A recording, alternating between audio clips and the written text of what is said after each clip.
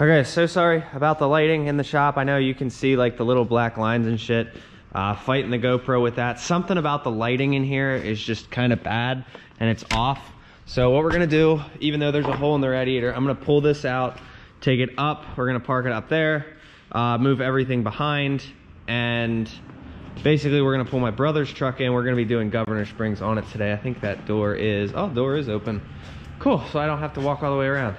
But yeah, so we're gonna do his truck today, do the governor springs on that. Wow, I forgot how much shit was on the back of this thing. But it's nice and warm. We're gonna also be cleaning the floors in the shop today. So just waiting on the turbo elbow for this. That'll be in next week apparently. So I'm gonna start going through and just getting rid of some stuff and neatening things up. So aside from that, little red truck is back. Honda needs work. Power steering pump just went out. Power steering fluid is everywhere. There he is down there. Killed his truck last night, so I'm gonna let him have it idle for a while, but I need to get all this stuff off of here first. But I don't know, it's funny, this little Honda can back up this hill, but a two-wheel drive truck can't. Interesting. You don't need four-wheel drive, you just need to know how to drive. That's my logic, I don't know. So we're gonna get working on this thing here soon. I'm gonna have him come and help me. Probably have him pull up until we can get everything situated on the back of the truck. Oh, you missed it, but he actually got up here. So the, the Accord, I can leave it a dead stop and pull it up. Whereas this, it's like, or even my truck, like they just, they're not happy about moving. So other than that, you guys can see where I took it off the trailer and it like bottomed out. So yeah, we're gonna start getting rid of shit, burning stuff and go from there. And the valve covers aren't on yet either. So I don't know. All right, we'll see if this thing starts. I need a specific wrench to shut it down. So won't use the clutch anymore. We'll see if uh, see if I can't get in there and shut this fuel off. All right, let's see how she runs.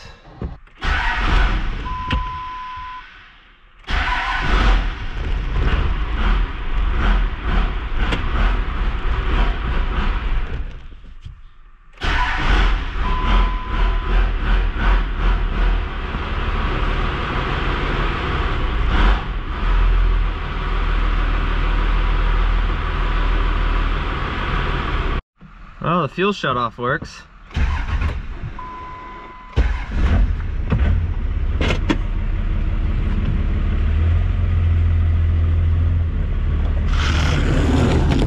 Oh, no brake life.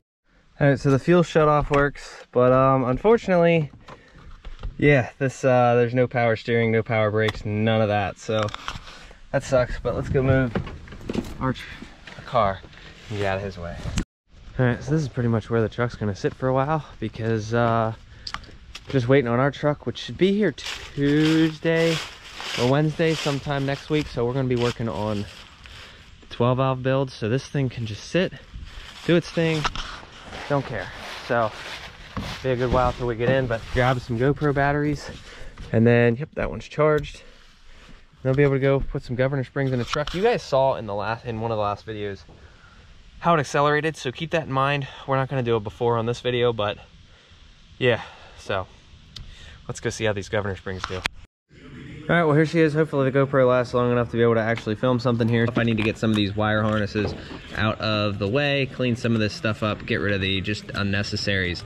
So we're basically uh, he has three 4k governor springs so we're just going to put the 3ks in and we'll go from there. But yeah this intake tube has to come out of the way. The intake itself has to come off um, I don't know. We might, maybe I'll see if I can't get in there without having to mess with any of this stuff. But to be able to see it, uh, it definitely would help.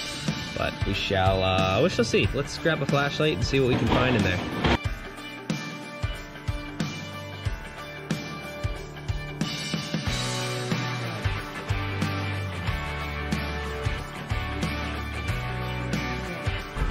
So he's over here doing the, what are you trying to do? So he found this really old, I don't even know, brewed in Camden, England, Wessex. Let me know what you guys think of this stuff. I'm gonna give you a uh, an honest review of this. All right, We're we're gonna gonna try right now. we're gonna Now you know crack right this from wrong. open.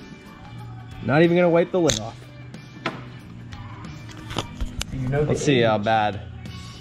That could be like Oh, it smells like piss. that could be like 20 years old, dude. That is disgusting. Yep, that is nasty.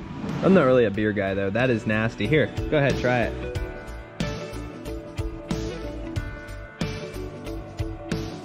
It tastes like normal beer. Yeah, I know. I hate the taste of normal beer. All right, well.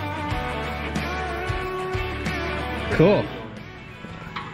What's the age on it? Um, June of 96. But uh, yeah, so Dodges have this nice little thing here where you can put bolts, so it's a nice holder because they know you're gonna be working on them. Especially the diesels. So let's, uh, yeah, I'm gonna try not to take this elbow off if I can help it that way I don't have to worry about like blowing any gaskets or anything like that. But so let's see. It looks like I just need to take off the guy down there for the arm. So we'll see. I think that's like an eight mil. So I'll grab that here in a second. So Josh says he's been super happy. If you saw in the last video uh, with the shifter when we put the bolt through it, made it so much tighter than factory. So said he's super happy with it. Now you guys can see there's the fuel solenoid right there, and uh, I think right here, this is what was surrounding it, and that's uh, really bad. So he's definitely gonna wanna get one of those. I've already got, here's the little clip that holds that thing on, and then we can come down in here and should be able to just pry it off, which, you know, shouldn't be too bad. Just getting it in there, trying, trying. There we go. So now, we got that off. All right, so I warned him before I took this apart. I'm like, hey, your fuel solenoid's gonna come apart. And sure as shit, what did it do? It came apart. So the only thing holding this thing together was the fact that travel is limited. Um, I told him he's gonna go get another one, so that'll do, but I'll end up putting this back on. It'll be reusable, but I don't know how long you guys can see. Like, this is just awful. So I didn't even have to pull that off there and it just came off. So we knew it was gonna come apart eventually, but all you gotta do really is just put that back on, limit your travel, and then just sit that there, so. Good. All right, so you guys can see, oh, you guys can see down in there, it looks like he never had governor springs done because this little guy here is on there. So if that's there, this is this never has been messed with. See that string that goes across. So it looks like all I had to do to get to that was take off the fuel solenoid which it sucks I'm gonna have to take it off again when we do the fuel plate, but we're doing things in steps. So I wanna show him just exactly what governor springs do. We'll test drive it. Great, everything's good. Then we'll do a fuel plate, test it. Great, everything's good. Then we'll do AFC tuning, and then we'll do the timing, which you have head studs. So let me know down in the comments how much timing we should run, because I run 18 on mine without head studs. I was thinking 20 would be perfect for him. It's not too much, it's not too little. We're gonna end up cutting, cutting that guy right there. If I could make it home today in this thing, that'd be great. Oh, yeah. Yeah, I'm getting a Kia. Gonna have to replace it with a Kia. Yeah, I'm getting a fucking Turner Kia. Are you filming that? Yeah. Oh my goodness. All right, so now it's officially cut. Now what we end up doing is we'll end up taking, I don't know how well you guys can see it, right about there. Oh man, camera, there it is. You can see the bolt like right about in here. So we'll take that out, we'll spin the engine over, um, and then once you do this, you'll always have to adjust the idle, at least in my case I've found that, so the idle's gonna be a little high. So we'll get that off and we'll go from there. All right, we're getting that bolt out. I found, uh, in our case, a 22 works great. All right, so we got the bolt off. This is, uh, I think it was a 22 is what I got it with. So now we spin the engine over. Wow, there's a lot of oil coming out of there. Let's make sure we're hitting the pan, which, oh, there we go, yep. You guys can see down in there that hole. Yeah, it's starting to piss oil. So we got to spin the motor over. Josh, you're right good at now. spinning the motor over, right? Do it right now. Yeah, we're gonna. Come here, Josh. Look. Look in your hole. That's your governor housing. So while he's going and getting something to spin the motor over, so here's your factory 180 thermostat, right? And this thing doesn't actually warm up at all in the cold weather.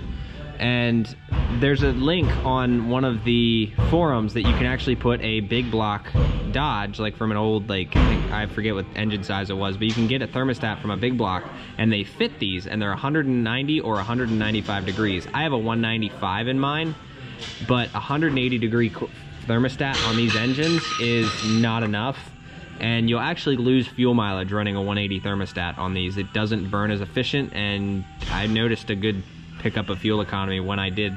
There's another mile or two uh, miles per gallon just putting in a thermostat. So definitely look into that. Um, somewhere on the forums it was, but yeah.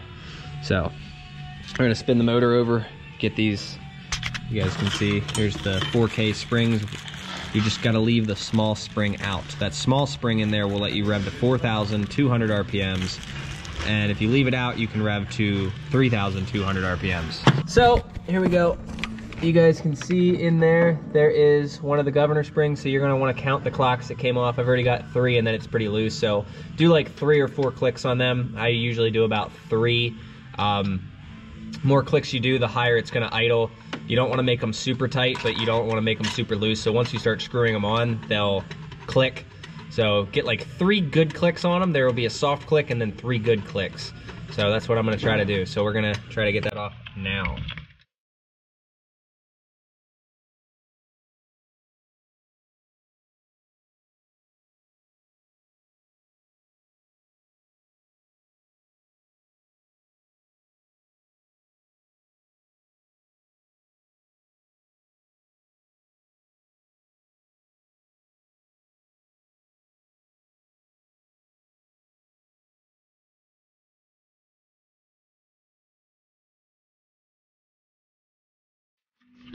Something touched me deep inside. All right, so here is the springs, which we will compare these. I do believe that these are the stock springs. There's no no way they're not. There is another spring in there. There's a third spring. Don't take that out. They are, yeah, they're just not made to come out. So, I mean, you can take it out, but they are specifically for the pump. So, we're gonna grab the governor springs here, and I'll show you guys basically how these work.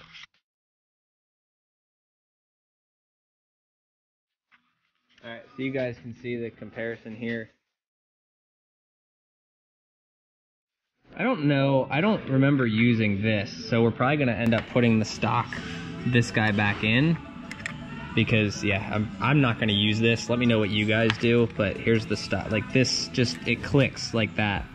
So, I don't think, okay, yeah, no way. So, yeah, here's the difference. You guys can see, look how small that spring is, and then look how like they're smaller. Here's the stock one compared to the 3K, and then here's the stock one compared to the 3K. And then this one, if you want to rev to 4K, put that in, but we're not gonna do that. All right, so here, here, here he is. Here's your, here's your springs. These are your factory springs. See the size difference? See how this is, this spring here is bigger than this one, this spring here. This, so these are your 3Ks, this is a 4K. We're gonna throw that away. I'm not gonna touch that. Fair enough. So you can see the difference. You did not have governor springs. Awesome. So, that's awesome. This is just one side. And you guys will see that when I'm doing this, I had a pick, a screwdriver in there so that if anything were to fall, it would catch on this. You do not want to drop any of this in that pump or you're pulling a pump. And in this engine bay, I can only imagine pulling this pump. All right, let's get these guys in here. Like I said, you guys can see the difference. So the middle spring is gonna be bigger and then the taller spring is gonna be smaller. So he I thought you yeeted the spring. Oh, here's yeah, here's this it little spring. He yeeted that across the room. You're also, I, yeah, you're not going to use this. Putting that in would be a really bad idea because then this could back out. So you want to use the stock one is what I'm finding. Because it clicks. You guys can see the little up there and then on here. So this actually locks into place. So as you're screwing it in, you'll want three good hard clicks.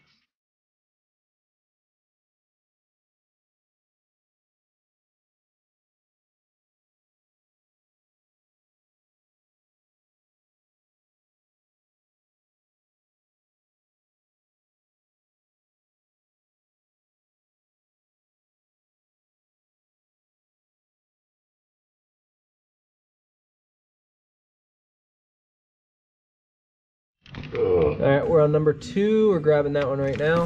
So obviously since we've already changed one out and I've already showed that. So I'm gonna get this one pulled out a while. You guys understand how I do it. And there's a magnet somewhere that I lost, but we're gonna grab that quick. All right, round true. This thing definitely did not have governor springs. You know, he, he seemed to think he did, which is fair. It actually does pull really well for a 97. So, like, I think his truck has like 215 horsepower. My factory engine came with like 180 because it was out of an auto. So we'll get these thrown in, super easy. Toss these fuckers in real quick. The springs are the ones you don't have to worry about falling down to the pump for the most part. It's the um this stuff here that you have to worry about. I made a whoopsie. I uh, forgot there was a really tiny spring, tiny, tiny, tiny spring. Um, I'm gonna have to pull that out of the other side, but I knew something was off. You're so fired. definitely make sure that you get this spring out. But that definitely sits in the bottom. I don't know about this, but yeah, this, get this out. All right, so this also comes out. That sits your little small spring on it, and then your next spring. So yeah, also make sure that you get that out as well, because pretty sure that's not, I don't think that's supposed to sit in there. Yeah, def, well, let me show you. So definitely not supposed to sit in there, I don't think. Whoopsies. Yeah, not a big deal. We'd have found this out anyway, so kind of like it's been a hot minute since I did this because I did this on mine like two years ago and it's been running great. So just need to remember to make sure you get all of the pieces out, but just going through and reconditioning my memory is all, so not a big deal. Right here you can see, pull that guy off. Then there's this one. There's the two springs that we're gonna use, and then a base. So that's basically what this should look like. All that goes on as just like that. So that's what your assembly should look like when you're putting it back in. Don't use this, don't use the shim, and don't use the little spring. So I didn't have to check and verify that because like I said, it has been a hot minute since I did it. So I'm like, ah, I might as well just, you know, play it safe and check it out and just verify. So we're good. Throw this all back in, do the same on the other side. All right, so he's gonna start it. We're gonna figure out what it's idling at, make sure everything is good. And I left the solenoid off because it's gonna have to come off anyway. But basically, like to shut it off, all I gotta do is that and it's off. So I'll uh, see what it idles at. If it starts to run, just put it in fifth and just make sure it's not gonna run away. If it decides it wants to run away, then that's when you'll, yeah. So Good to know. run it. All right, we're really high, so. Cool.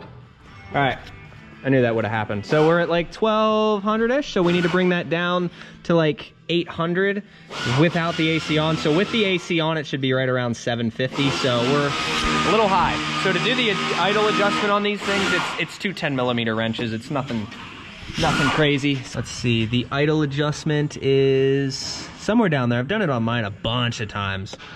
Usually on the side of the road, but we'll get that adjusted and then we're gonna go do a test drive. All right, so we got his idle at around like 850-ish. AC comes on, stays running. That's all that uh, matters. That's good. So everything is good. I didn't put his, I'm not putting this back on until we go back in to do the fuel plate, which I will, uh, depending on how our time goes today, we'll do that. But I want him to drive it. We'll get it started, get it, go drive it around and see how big of a difference it actually made. So 3K springs should definitely make a good difference. You don't need to clean up yet because we'll, we'll probably do the fuel plate. So you didn't lose much, if any, oil. Yeah, you got plenty of oil in there. So that's uh, that's a wrap. We got, we got them in. Seriously, this shifter is so, is so much tighter. All right, we're gonna try out these governor springs and see how they do.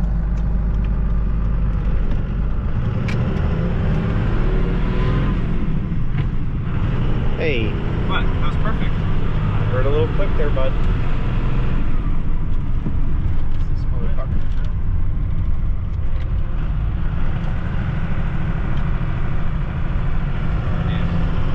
I stared at him.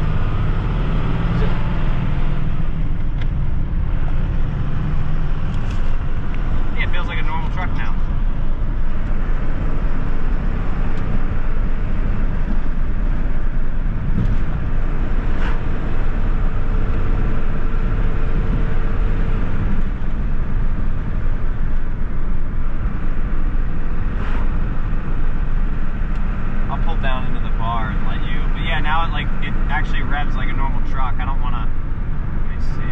speed on it if you want. I really don't mind.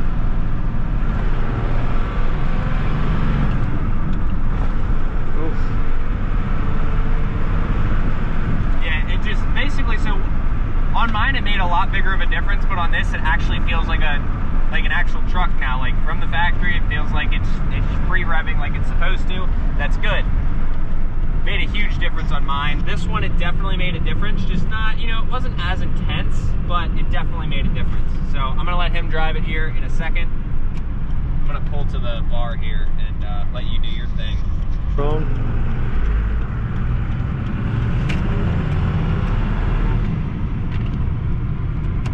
It is a little clicky in third, but that's not the that's not the. Oh, I usually don't even try second to third. Second to third's easy. I just, That's your money shot. I just don't really try it. I haven't drove stick in a minute. All right, so a lot of you guys really love this truck, so figure I'll try to make a couple of videos on it this week. We're going through and basically like making everything nice on it. Not, you know, we're gonna make it have some power, make it more tow worthy. Um, he wants to get some mirrors for it. We need to get some tires for it. Just go over all the nitty gritty. But I'll let him drive it and see what he thinks.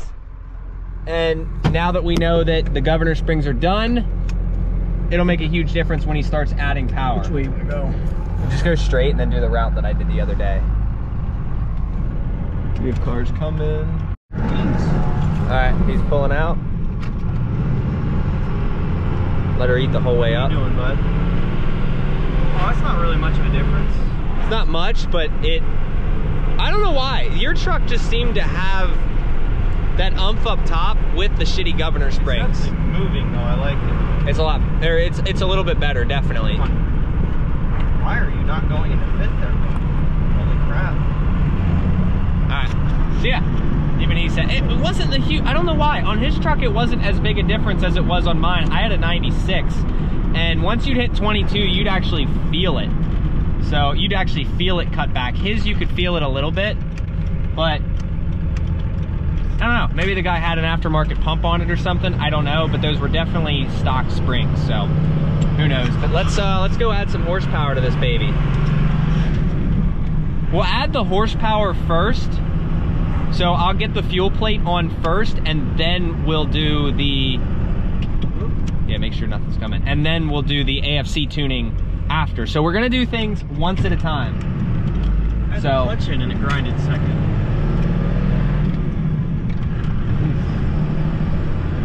I meant to do it a little bit quicker than that, but it said no. Oh yeah. All right, well yeah, like I said, we're gonna get back to the shop and then we will go from there and throw a number 10 fuel plate in it. Damn boy. I'm trying to put the seat forward and back. Door short. All right, so all I'm gonna need for this is there is uh, flathead up top. I'm gonna have to dent in the no. Damn, this thing smells like oil. You can smell that burning oil. Um, you have Burning. there's a uh, tamper-proof screw. There's a flathead, and then there's two 10 mil bolts, and then there's this thing up here that you got to take off. So that'll be fun. So hopefully, uh, should have time to do this real quick. It's uh, 2:04, so I got about an hour to throw a fuel plate in it. All right, so um, I ended up just drilling out the top bolt so we can do that. And then the other three, these tamper-proof screws, just do whatever you can to just break the head off. And then you can get a pair of vice grips in there once you take the fuel lines off. Because you're gonna have to take the fuel lines off anyway. So once you get this AFC housing out of the way, you'll be able to do that. I am working on right now just getting the other three screws out. Um, I don't know why they do this. One of them's a flathead Two of them are 10 mil or 8 mils, and then one of them's a tamper proof that I literally just used a drill bit to drill through. All right, here she comes. Nah, no need to take that off.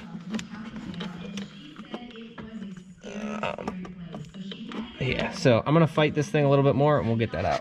All right, so there's the fuel plate. Uh, for some reason, like, it looked kind of crooked, but it could just be me. Let's see. There's no way anybody else has ever been in here because of the tamper-proof screw. So what I'll do is I'll take a flathead screwdriver with a pair of vice grips on it, and that's how I get it. So let's uh, let's go Brandon that quick. No.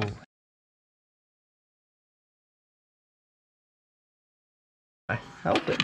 No, not you. I thought you were giggling. Fly. No, there was a fly.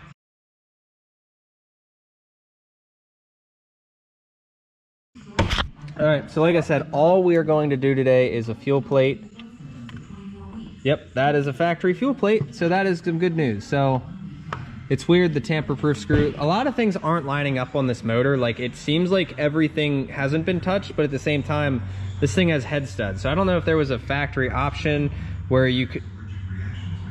I don't even know what that is. Is that a factory fuel plate? Like, this thing's got nubs on the bottom of it. So I don't know if this is a factory P pump or or what it is, but something's not lining up. But here's the one we're gonna be throwing in.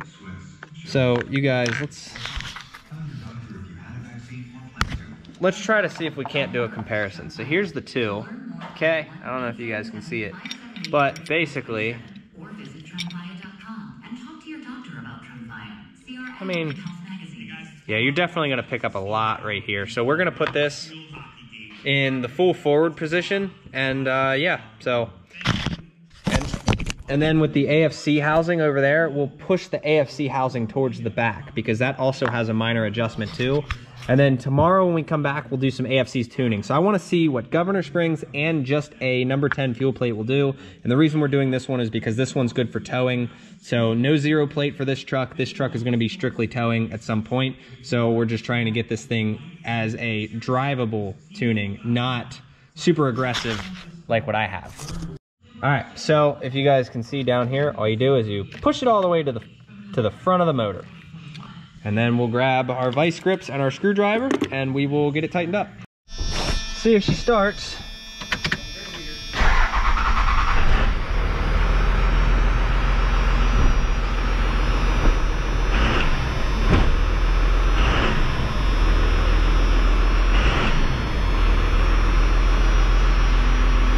All right, cool. No smoke yet. That's good.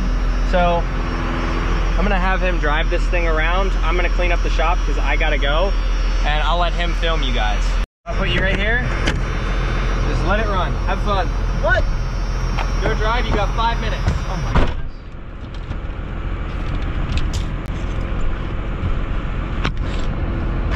Don't mean to steal his channel at all. I really don't.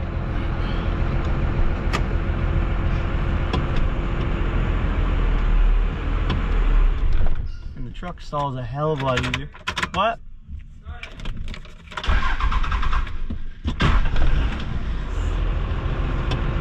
I've never stalled this truck before he did this.